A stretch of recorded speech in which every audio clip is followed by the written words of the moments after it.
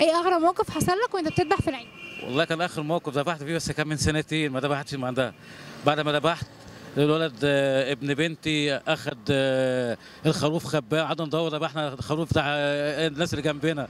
كنت موقف ما كنتش متخيل هو بس كان متعلم بعلامة بعد ما جبناه اعتذرنا للناس وخدنا الخروف ده مكان الخروف ده حضرتك.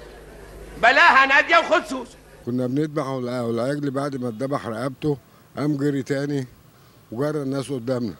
فكل اللي مستني ياخد لحمة جري.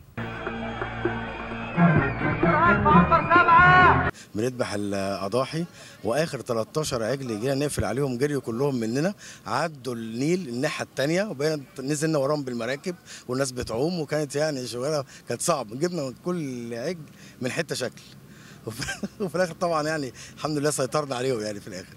أكتر موقف حصل معايا وأنا بذبح أنا عامة إحنا يعني أنا اللي بذبح للبيت عندنا. فاليوم ده كنت مثلا آه، في حدود 16 سنة. فبابا كان ساعتها كنا لسه صغيرين فكان بيجيب هو بقى جزار إيه يذبح وكان هو بيقف يساعده يعني. فالجزار جه ذبح بسكينة تلمع إحنا إحنا بنذبح جوه مخزن. فالعجل بقى إيه وهم إحنا قافلين على نفسنا المخزن. فهو طبعا العجل قام طبعا و...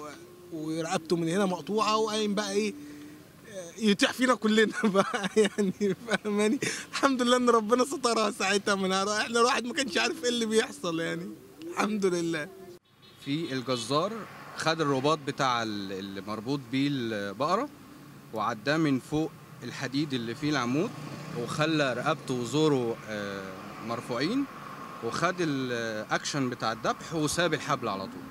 يعني ما وقعش ال- العجل أو ربطه زي ما إحنا ما بنشوف ده أغرب طريقة قبل كده واحد برضو رابط العجل قدام الشباك قدام بتاعت في الدور الأرضي والعجل كسر الراجل لما ذبحه ما تمكنش منه حلو. فالعجل ساب فدخل دخل على الناس جوه.